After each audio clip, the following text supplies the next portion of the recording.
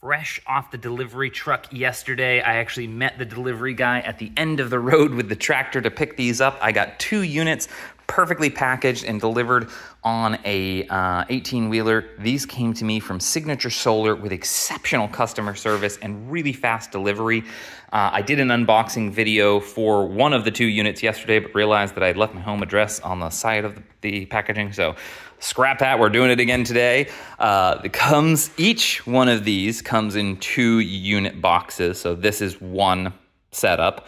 Um, so I already have that unboxed. This box down here, that's the inside function right here. This has the vents and this is where the cold air is blown into the house.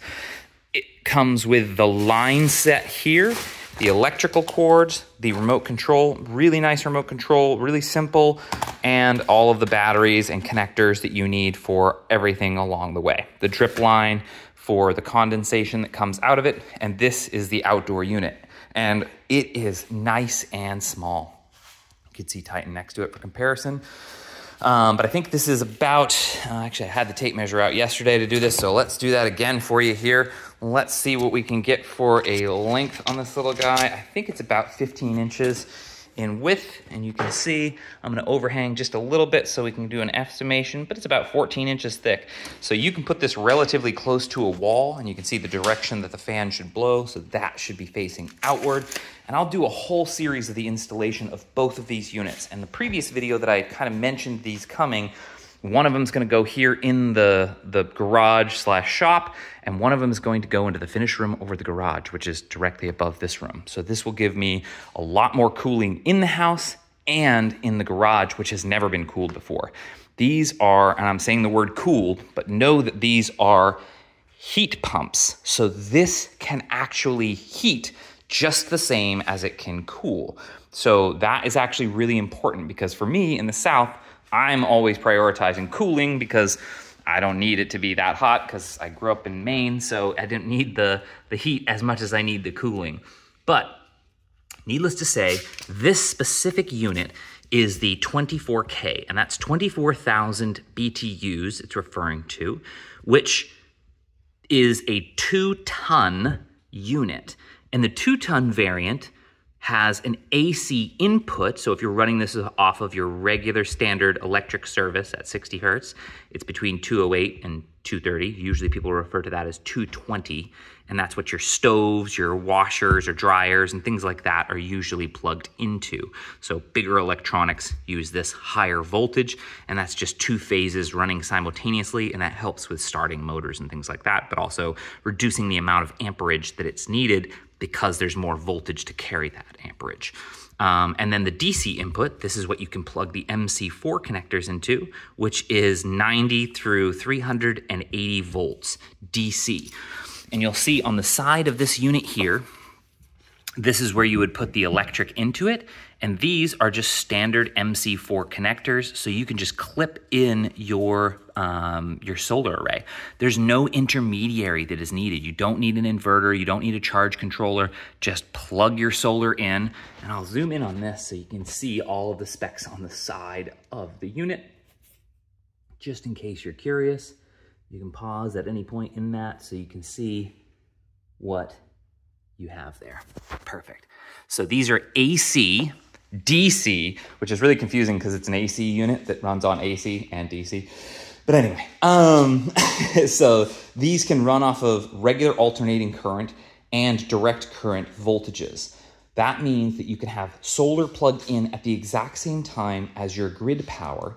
And if there's enough sun to turn the compressor or the pumps, then it will run off of that DC from solar and it will prioritize. There's an application and a remote for controlling all of those uh, features. So this is really handy for places where it's nice and sunny or you have some sun and you want to just supplement the amount of power that you're using to perform the task of cooling or ventilating. So this is really, really awesome technology. And I really wish that this had come out a long time ago because I think a lot of people that have been moving to mini splits missed the boat by getting on a little too early. And now they have these really cool units that I'm going to install these first with just AC. So I will then test how much power is being consumed by this device And then I'm gonna plug solar into it. And I'm gonna try and get to the point where if I don't need to run these at night, I won't have to because I'll just extra cool during the day to let it warm back up at night because I really don't care. We don't get that. It's not that warm overnight. As long as I dehumidify and I keep the, uh, the heat away, that's all I'm looking for. So needless to say, these units are really cool technology. AC, DC, and it's a mini split. And again, if you don't have the place to plug in a 220 and you don't want to hire an electrician, you can obviously get the smaller unit, which is the one ton or 12K, which is 12,000 BTU unit, which is the exact same thing, but just a little bit less cooling capacity. And instead of running off of the AC 208 to 230, it would say 110 to 130, I think it is, or 108. Um, and mine is 124 volts here. And every everywhere runs a little bit different, and it is all very uh, grid and local dependent.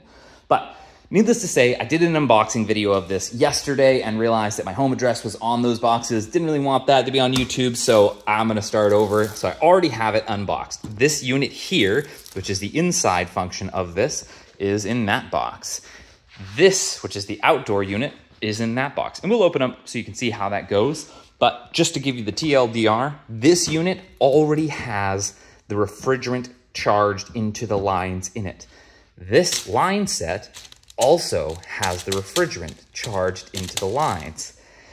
And the outside unit, you guessed it, it already has the refrigerant in it. So you do not need to hire an HVAC technician to activate or commission this system. You just plug it in. There's some directions on this and I'll go through the entire installation. I just wanted to do an unboxing so that you could see the size of the unit. It's pretty small for what it's worth. It's about half the size of my other 210 or two ton units. And I'll show you what those look like here.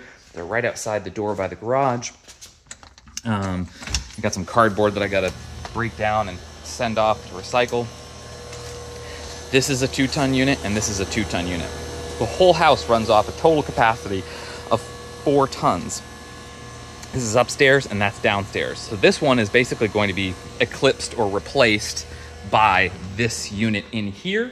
And what's going to happen is I'll still use that unit. I'll still get it recharged and replaced. But this, when it's running off of solar, will then make the amount of power that I have to consume in order to cool my house much less. So this will save me a ton of money and it's a little bit more environmentally friendly because these are super efficient. So let's, without further ado, snip into what these boxes, wow, these scissors are terrible. They used to be sharp and then I probably cut something I shouldn't have with them. But that is there. And then I'll get the rest with a pocket knife. Always carry a pocket knife because who doesn't? And if you use these types of knives, these EABs, exchange blades, these little units are really handy for that. Highly recommend them. Um, and I use Irwin bimetal blades, just in case anyone's interested. These are made for roofing shingles, and they are really, really, really sharp, like scary amounts of sharp. So be careful, don't cut yourself. Um, shut that door because I can hear that buzz and it's driving me crazy. So now that the dogs are in, you can see what comes in the box here. And again, this is just a duplicate of what is already out here. So this is the exact same unit, same thing. And in this box, you receive that line set. So there's the line set, nicely packaged, got all the foam in there to keep it safe. Everything looks like it should as it came from the factory. And then we'll do the same thing with this. This box actually has a little bit more in it. It also has, He-Man that thing out of the way here. Um, let's cut that. Oh, something. Oh, kicked the dog toe. He didn't like that. Probably shouldn't have sat in the way. Sorry, little buddy. He likes to stand where my legs go. The number of times a day that I tell Titan to move from my feet zone is extraordinary. He's kind of a needy puppy. Is it true, Titan? Are you a needy puppy? I have all three boys clinging around me. Now, the part of this that I really wanted to show you of the unboxing was actually the piece that I have upstairs for this unit already, which is this. I'll spin it around the right way. So the one tool you'll really need, other than a little bit of electric line to run your uh, power to it, is a drill bit. And you'll see that listed right here, 3.35 inches. Um, so that's basically three and a third, a little bit over. Um, but this is where you would drill the hole in the wall. So this template is a one-to-one -one scale. This is the upward direction. This outer line, the black one here, describes this shape on the wall. So you can pre-orient it. You can use some push pins to put it in place. And then you can pre-drill all of the attachment holes for the metal bracket that's on the back of this unit. And I'll roll it up and show you that in a second, just so you can kind of understand what I'm talking about. This weird shape here is a metal bracket that you screw into the wall. This then has the unit hang itself onto it. But before you do that, you drill a hole in the wall with a hole saw and you do it at an angle downward so that if this were flat, it's sloped downward so that any of the water from the discharge from the evaporation goes out the hose. It's pretty self-explanatory, pretty easy, uh, and there are tons of videos on this, but I'll also make some quick content around that. And for me, quick content isn't even a real thing. I'm pretty long-winded. If you've been around this channel for a while, you know that that's true. Hold on, let me pause this so I can roll this up without breaking it. So here we go. This is the bottom of that unit, so you can see what it looks like. This is the wall bracket, and you can see these little clips that hold it in place. So this is how this piece of uh, attachment happens. There's a screw holding it in place right now. I'll remove that uh, to take it off. This bracket here is what hangs that unit to the wall. So it has a nice attachment point. These are the pre-charged lines. You can see they're nice and capped right there. And those are the refrigerant lines. So everything that you need other than a hole saw is right in this box.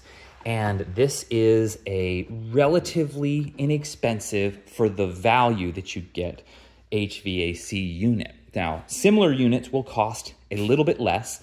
Usually, I think this is around $1,900 for a single unit, but consider that the energy that it takes to power this is going to be part of the lifetime cost of that. So if this unit lasts 15 to 20 years, and in that 15 to 20 years, the majority of the power that it consumed was from solar, and you needed no inverter, you needed no charge controller, or no extra fancy stuff, you could literally just build a wooden stand and put some solar panels on it and power your HVAC for your house. So this, in my opinion, is well worth every penny of it. And it's very, very important for people who might be trying to build off grid situations where you don't have access to power. Or in some cases, you might have an outbuilding, a shipping container, or something that you want to reduce the temperature inside, but you don't have power run to that. And it might cost you a couple uh, you know six or eight hundred dollars to have someone come and run a line set underground and make sure it's to code whereas this you could install it by yourself in a matter of a single day and have air conditioning in an outside building. I would love to see if anyone on here has bought any of these types of units and turned a shipping container into like a refrigeration unit for like keeping vegetables, basically like a root cellar, keeping vegetables uh, chilled or anything like that, because that will be a future project on my horizon, but not quite yet. This will be installed first for the garage, then this unit for upstairs, and then I'll probably get two more units. I'll be putting a ton of solar on the house to accommodate this, but as of right now, I'm actually really fortunate. The owner that had this house previous to me was a horse farmer, and I got a little barn for that, which we'll be getting solar for. Right now, uh, what we're working on is, or working with, is I have a 30 amp and a 50 amp service already outside. So I have a 210 receptacle and this unit is going to go here and another one probably right above it and it will go up into that, the finish room over garage, which I'm supplementally cooling right now with a window unit because the upstairs unit just stinks and it would cost about $7,000 to have them replace that unit. And these are way more environmentally friendly and make more sense financially. So I couldn't resist the opportunity to try out one of these products and see how it works. I'll let you all know for the installation, how that goes and what you need to know about installing one of these on your own down but I hope you found this useful. If you have any questions about how these units work or anything else, put some comments down below. I'll try and answer as much of those questions as I can. Uh, I'll put the link for Signature Solar in the description so you can see where to buy this product yourself. Uh, they'll give me a little link that I can send you over there with, and you can see all of this beautiful packaging they've done. It's done a really good job of making sure that everything is kept nice and tidy in these boxes with good styrofoam to keep everything safe. So again, exceptional customer service, great product packaging, and a really revolutionary type of technology that I personally think should be mandated that all AC units built after 2025 should accompany DC PV inputs in the MC4 connector function. Because this is the other thing. If you have solar on your house and you have net metering and you lose power to your house because of a power outage, let's say a hurricane, I live in the hurricane region, so this is really applicable to me, and you wanted your house to still be cool, but there was no power, your solar on your house does zero. That is made to be grid tied, and you do not have battery backup. You can't use that power. So I'm building a battery backup, but if the battery backup went out or if the grid goes out in the meantime until I build that, this unit, every single time the sun is up, and there's solar that feeds into this, it will run. So I can keep my house cool, and that is really important when you get into places where the temperatures reach near 100 in the summer and the humidity is atrocious. So again, the technology is super, super cool. I really wish that this had come out long before this, but ironically, this is fairly new and I just came into the need of a new HVAC unit and that's where this journey starts. So I hope you join along for the journey. I'll install these two. There'll be two more to come after this, a ton of solar that's going to be put on the house to supply both of those units and two other units. And this whole barn is going to be tiled in solar and a battery bank put inside it just so that I can capitalize on the sun that you can see is so benevolently shining and beaming down on every surface around me. And this right here is the roof surface on my house that will accommodate the solar array to feed those units. I can put about seven kilowatts up there and these units don't really need that much total solar to run. So they're hyper efficient. Check it out. Let me know your thoughts. Have you ever built any exterior off-grid buildings that use mini splits to keep them cool, refrigeration units, and or have you ever installed one of these? I'd love to know your feedback, any tips or tricks that you've done along the way. This coming weekend, I'll be installing this unit, so stay tuned. You'll see some more content coming shortly.